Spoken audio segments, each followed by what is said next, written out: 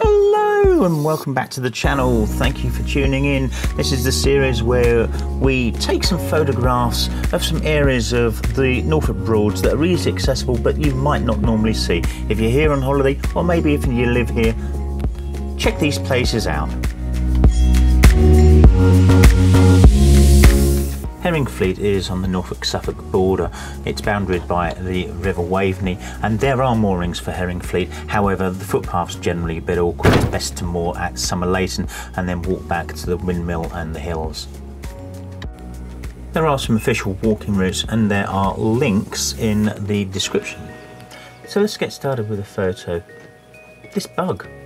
He was just stood on a flower, doing nothing much except waving his antenna at me. Couldn't help but shoot him.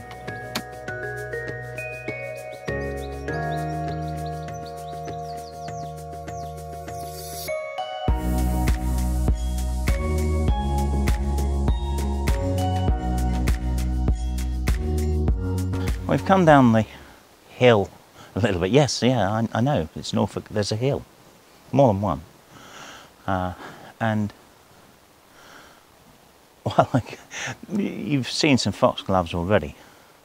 We weren't quite prepared for these.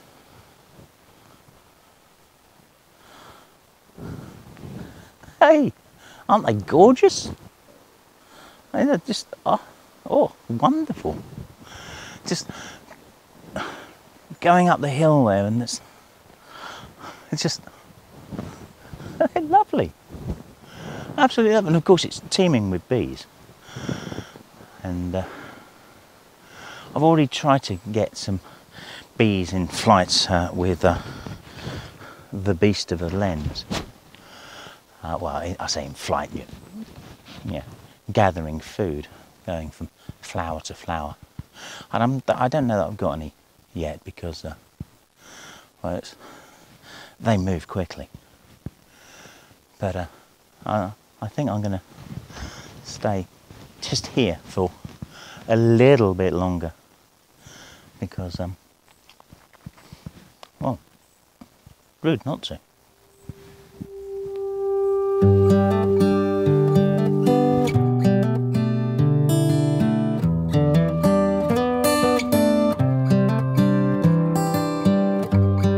The problem looking up into them you get too much highlights in the bokeh, bokeh, whatever it's called. Where'd that bee go? There it is.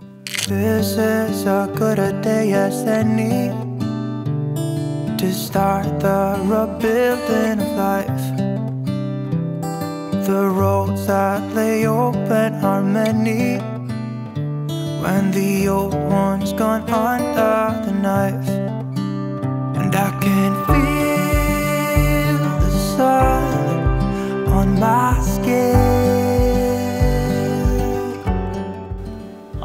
trying to get more detailed shots of things uh, because, well, because of well that I do have other lenses, but but getting some detail uh, in the woodland is a trick if you've got light streaming through and such. And I know we don't necessarily now; it's pretty pretty flat, but getting woodland shots that are, how should we say, not incredibly messy, is awkward when you've got anything other than flat light. I mean, uh, yeah, fog's ideal, rain is good, um, flat light is kind of the next best thing. If you've got the sun streaming through, creating hot spots and uh, and dark spots everywhere, it's difficult. So one of the things you can do is switch to something a little uh, longer in lens or get closer to something to get the detail in things.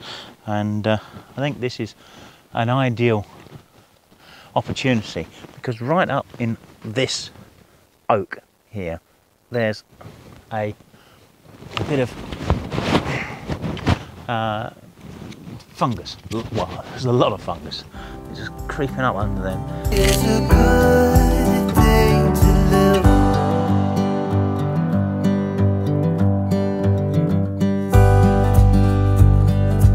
Wonderful roundel on this tree, which it's not the greatest photo, but it's a nice, interesting piece. I'm just gonna do a couple at different focal lengths here. Pop those up. They're quite interesting. They're not great photos, but as a as a study of where we are, I think it's a, it's worth seeing. Now, I'll put them up as a triptych. I think they work really well together, even though they're the same image, effectively. I'm not sure which one I like more. Let me know which one you like more. I think for me it's the middle one.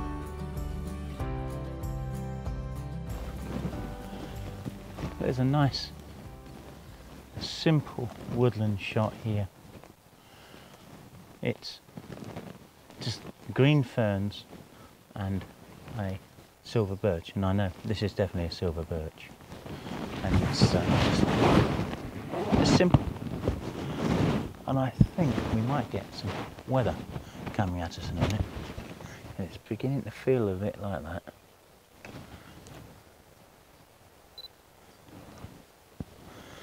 Keeping the sky out of it completely. Just in the it's in the top corner of the can you see? Today and not tomorrow. There's no time to borrow. Today, well, something's gotta give today. Just look at this place. The oaks are wonderful. The oaks are truly wonderful. And I think if there was a little bit of mist here, I think I could get some fantastic woodland shots. Flip you around. There, you see some more oaks here.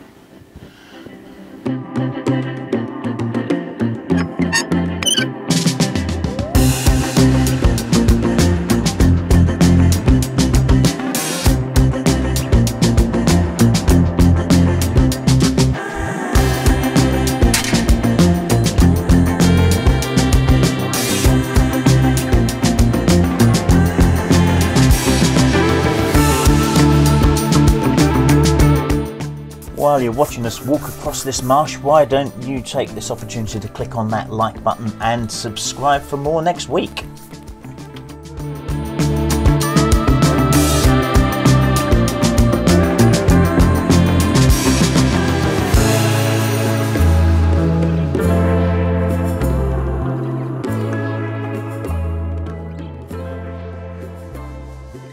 I wasn't certain that I was going to get here today because weather wasn't looking great.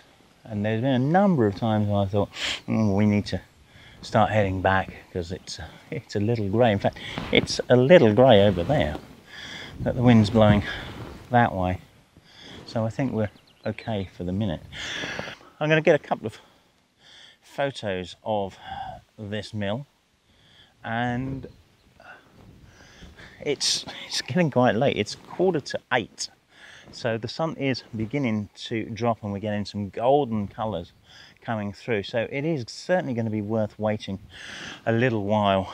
I'm probably heading that way, so we can shoot that, that, that, that there, with a bit of golden colour in the sky over there, and. Uh, yeah, well, let's see what happens. Yeah, well, uh, it's pretty, um, pretty grim over there. Yeah, I'm thinking, should we make a run for it? run? What a joke that is. The colour, the colour's gorgeous. I don't think it's picking it up on this video camera, but uh, oh heck, the colour, the colour. Oh bands over there. I'm gonna I'm gonna shoot a, uh, a long exposure of the mill. We have here a get it in frame. A Lee six stop filter on the front of the lens capturing just a, a shot there. I don't know what this is going to be like until I get it home.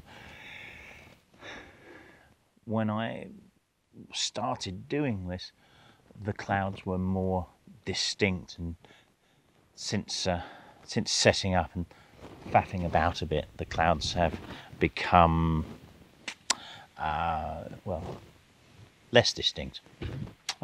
Less distinct. So we've probably got bands of uh, grey here rather than um, pockets of kind of grey moving across. But it should be a nice enough photo. So uh, I hope you enjoy that one.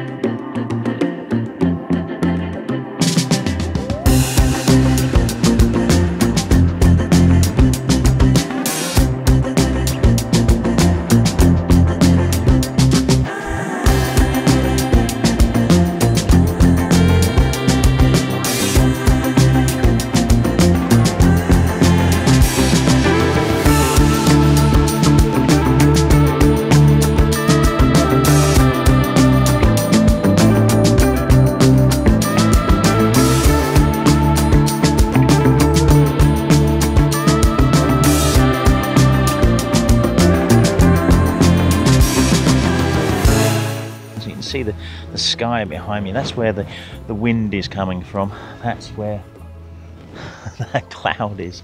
Um, it's there's moisture in the air. I mean, you, you can see the uh, the haze over the fields. Whether or not it's enough to um, get us wet, I don't know. But it's now 20 past 8, so it is time for us to go.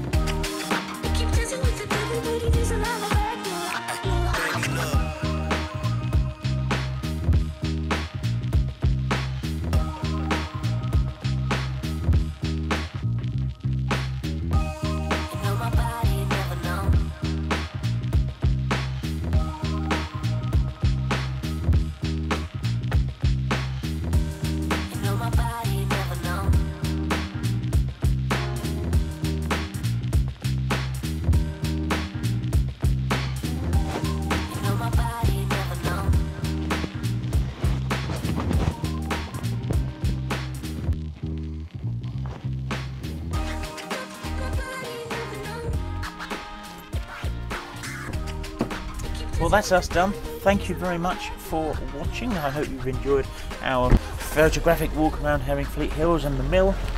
Click the like button, subscribe. Tell me what it is you like about the, uh, the video, indeed what you don't, and we'll see you next week.